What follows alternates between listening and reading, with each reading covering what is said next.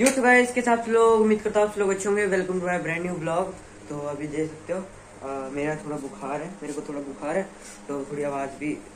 और लंच में हमने दाल चावल खाए थे। और गाइस आज के लिए सॉरी मैं आपको नहीं दिखाई यहाँ का ऐसा मौसम है।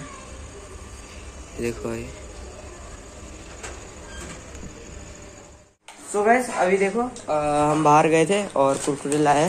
देखो गैस सचिन तो दूध और रोटी खा रहा है और मैं दाल तो गैस थोड़े से बड़े पड़े थे वो तो मैंने खा लिए।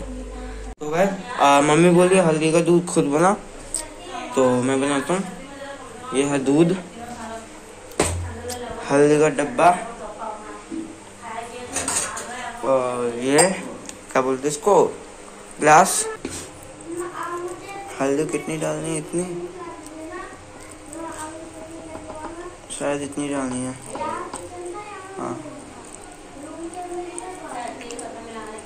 हाँ इतना डाल दिया मैंने।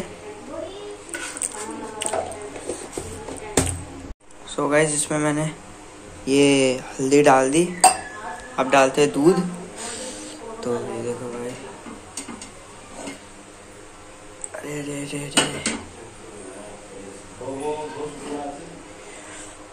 डालते अब दूध। आ,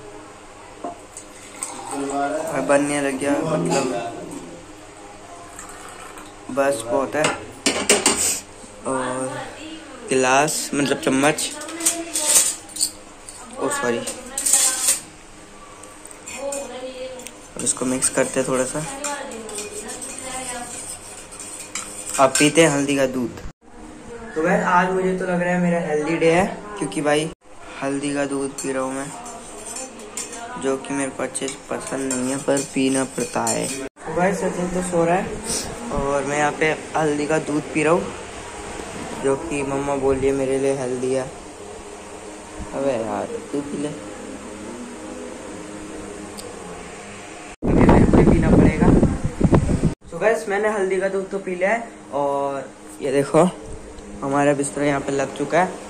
मम्मा थोड़ा काम करिए और अगर ये ब्लॉग आपको अच्छा लगे लाइक सब्सक्राइब करना बिल्कुल भूलना।